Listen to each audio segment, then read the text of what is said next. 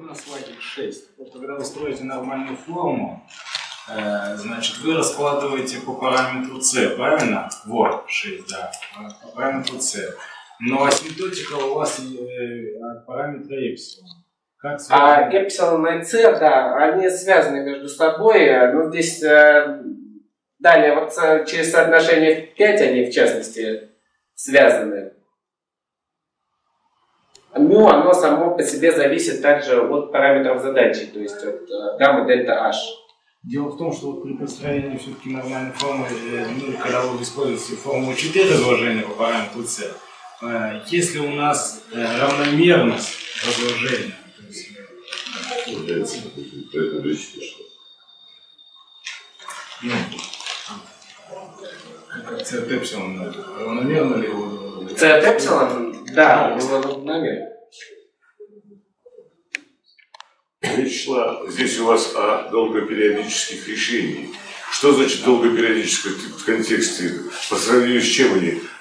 А Здесь а, две частоты, если м, рассматривать, вернуться на слайд. э, Здесь, если не резонансный случай рассматривать, то а, можно в окрестности гиперболоидальной прецессии два семейства периодических движений строить, и у них частоты будут э, показаны здесь. Одна, соответственно, меньшая, другая большая частота.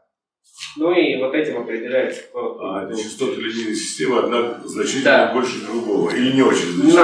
а не обязательно. Не обязательно значит. Долгопериодически просто больше, больше... Да, больше- просто больше. А, Просто больше. да, да, да. Ладно. Э, Да, по поводу рефлекционной диаграммы. Вы сказали, что у нас результат – это строение рефлекционной диаграммы. Вы же строите только для конкретных значений параметров. H такой, А ТЦ, а по всем параметрам. Но здесь вот а, диффункционная диаграмма только, да, для фиксированного А- H и дельта еще к тому же, гамма только варьируется. Но для всех а, там будет, соответственно, в пространстве уже диаграмма. Для них а, дело в том, что здесь а, численно получаются данные и очень большой объем.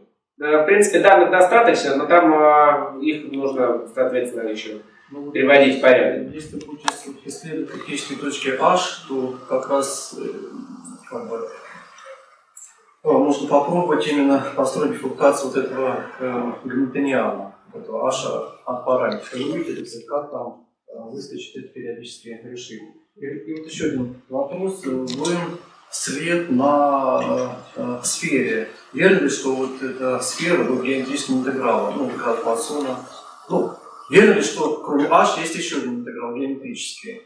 А вы имеете в виду, как вот эта сфера с точки зрения связи с Гамильтонианом интерпретируется? А, Ну, не могу сказать. э, А верните, пожалуйста, на рисунок картинку. На сфере была Показали, как сказано, через просто верно ли, что сумма компонентов равна там, ну, константе? А, в этом плане, да. Тогда можно редуцировать э, э, в меньшей степени свободу. Но тут э, нужно подумать. Так сразу Да. Вот назад. А вот э, вы так объяснили, что там произошло, как вот э, слиплись два режима и так далее. А вот странно, тут гамма 4 режима, а чуть левее сразу только один. Туда сразу три процесса. Это для значения 0,34? Э, Да, вот при переходе через точку B2. Ага, B2. Ну вот здесь получается, что два периодических движения, которые гамма-3, гамма-4, они совпадают... так, ага. Э, вы нет, здесь получается после B2 два остаются. А, просто там гамма 1 не, не, не нарисован. Ну, оно тут, э, да, не нарисовано. Гамма 3 и 4 ис- исчезли вместе. Да, гамма-3, 4, а гамма-1, гамма-2 остается. А, понятно. Хорошо, спасибо. А, Давайте поговорим. Следующий.